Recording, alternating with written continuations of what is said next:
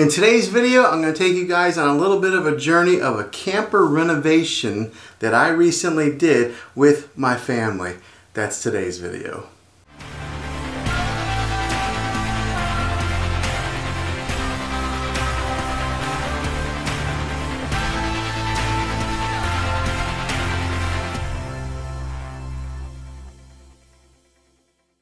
Before we begin, do me a favor and hit that subscribe button and turn on your bell notifications so you can get notified for future videos. I'd love to have you back in the next one. Well, hey guys, Juan here. Thanks for stopping by my channel and checking out this video.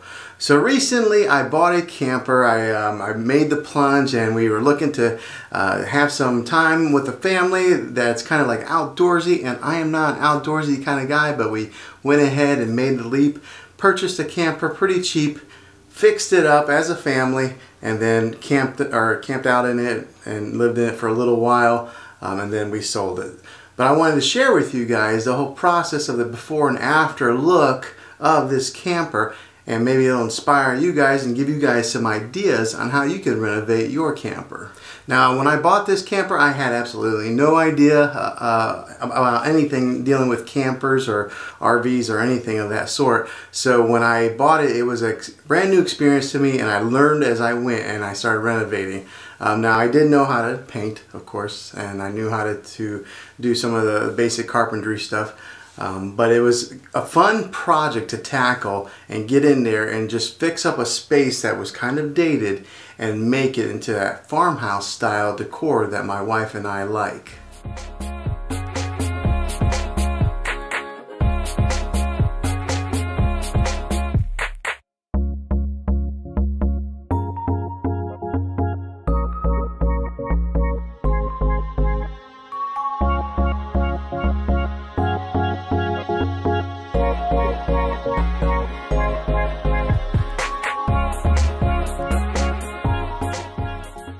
Okay, now I'm going to take you through the process.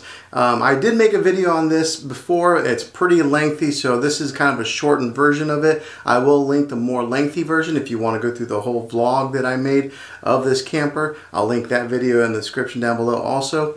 But uh, this is more of a shortened version to kind of give you an idea of what we ran into, what kind of obstacles, what kind of work it was involved, and just all the, the nitty gritty of it all. So let's go ahead and dive into this.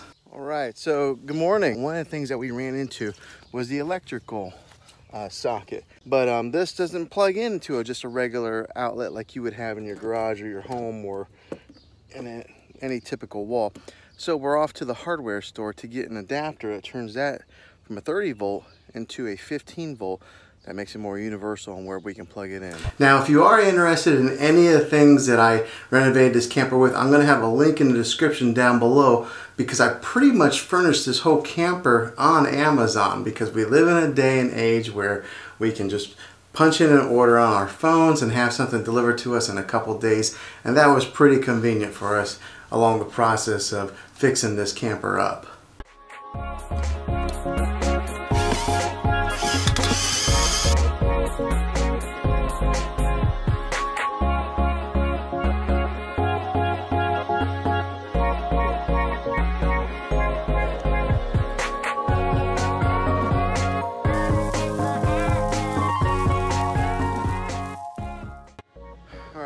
Sorry for the sound, we got the air on, but I was trying to figure out how to get these padded things off because they're on there. They're on there pretty good. But I learned that if you pop these buttons off, there's a screw behind there and that's what holds all this padded stuff on the camper down. So pop those off, take the screw out, and that should come off easy. Okay, so we got the second coat of paint, gray paint, put on the walls here. I think we can get away with just using two coats there. It looks pretty good right now. It took three coats to do all the white paint on the cabinets. But next, these walls right here, we're going to put uh, shiplap peel and stick on that wall there. So it's going to be the two walls on the push out, but it's going to be this peel and stick uh, shiplap wallpapering right here. Now the great thing about this uh, particular peel and stick paper, kind of like when you're uh, wrapping Christmas gifts, on the back side of this paper it's got grids and lines like that to kind of help you know where to cut.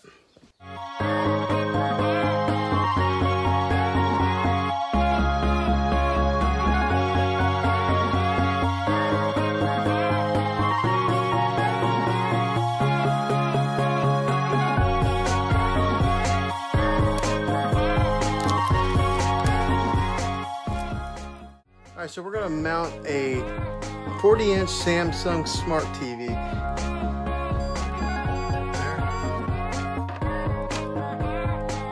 Okay, so this was a little bit harder than what I thought it was. I actually had to rope in a couple of my kids to help me, but this is what it looks like.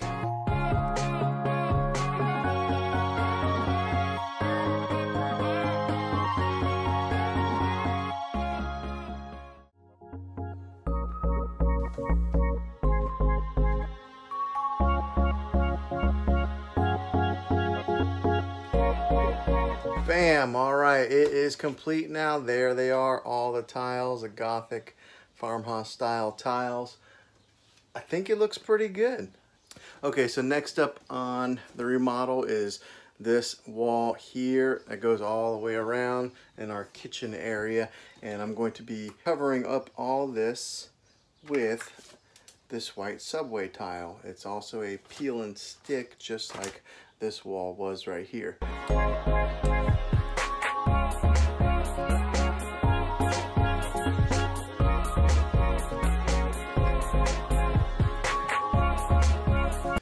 Okay, as you can see right here, this is an old bulb light here, and this is a bright LED light. Look at the difference in color there and brightness. So we're going to be replacing all of the lights that we have here in the living space with these bright white LED lights.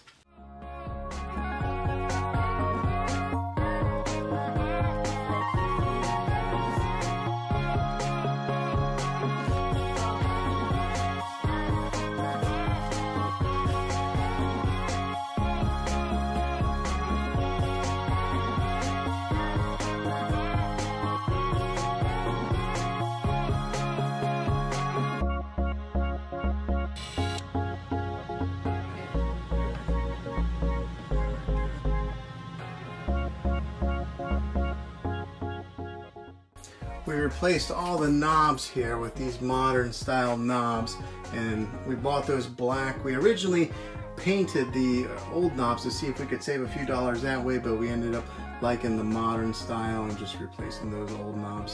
So we kind of painted those old knobs for, well, for nothing. These white curtains here to give us a little bit of privacy. Now real quick, here is the before and the after to kind of give you guys a really good visual of what it looks like.